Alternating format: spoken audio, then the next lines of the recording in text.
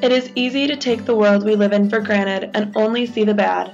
After all, we're surrounded by war, poverty, oppression, and discrimination, just to name a few. But we must not forget that there is so much that is good around us. I grew up here, the most beautiful place in America. I learned not to take it for granted because one day it may not be here anymore. I've only been on this planet for 21 years, but I've already seen changes to my hometown. Water levels have gone down, the snow has gone from big fluffy white stuff to wet, dense frozen rain.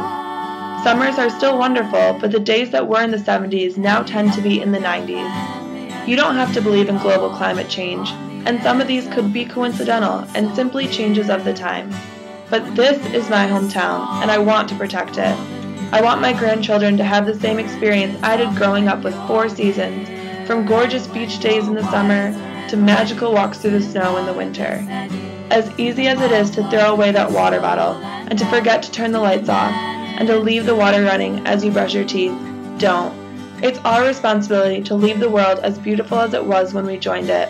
The times are changing, America is changing, and it's time we begin to act as though we're borrowing the land from our children and not as though we've inherited it from our parents.